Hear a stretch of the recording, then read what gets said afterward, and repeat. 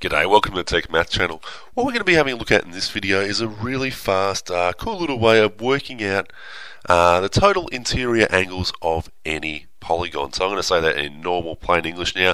I'm talking about what the total of these angles inside this particular shape, this is a hexagon, but any many-sided shape, how you could work that out. So this could be a six-sided shape like this hexagon here, or it could be an eight-sided shape, or it could be a ten-sided shape, or a hundred-sided shape and how you can work out what the total of the angles of the shape is. Okay, and then from that you can actually, if it's if they're equal angles, work out how big each angle is as well. So it's fairly uh, it's a fairly good little trick for doing that also.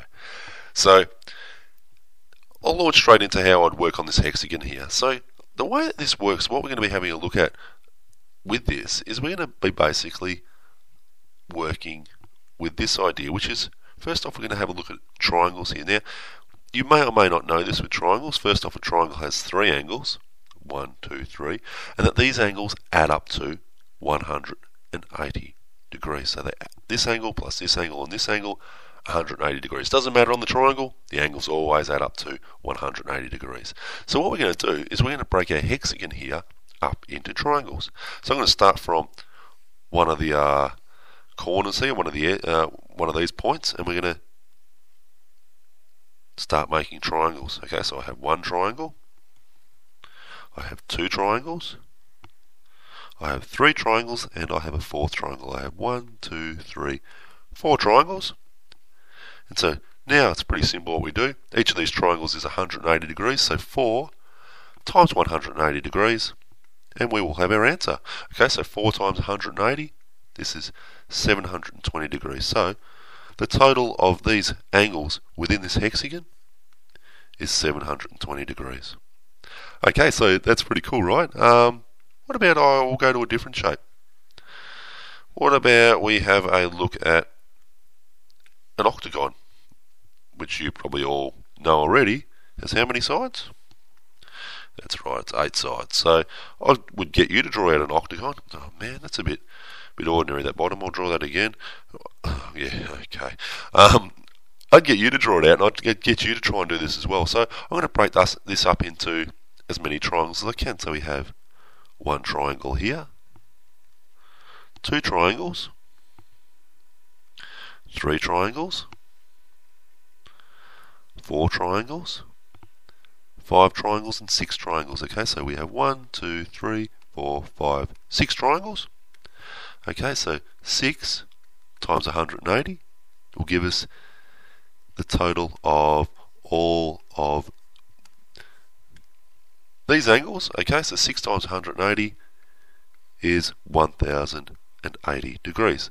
So that's a pretty cool little trick, right? And you might say, well, does it work for um, different types of shapes? You you might not have thought that, okay? But I'm going to ask that question for you and answer it for you.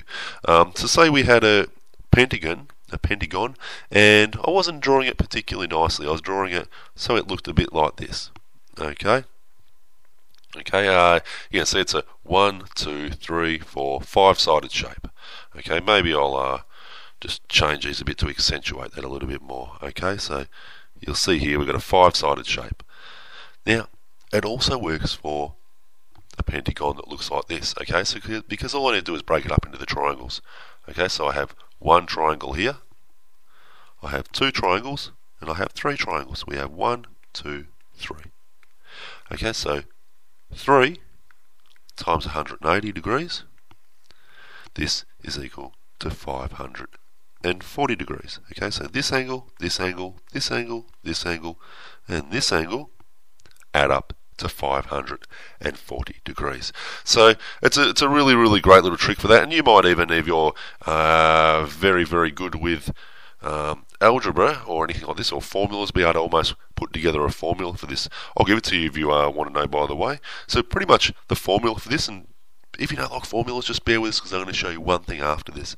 The formula for this, the total of the angles is equal to the number of the sides take away 2 times 180. So the number of triangles that we get is always 2 less than the number of sides. Okay, so if it's a eight-sided shape, the number of triangles we're going to get is six. And if it's a ten-sided shape, the number of triangles we're going to get from that is going to be eight. and we just times that by 180. So that's a little formula you can use for this.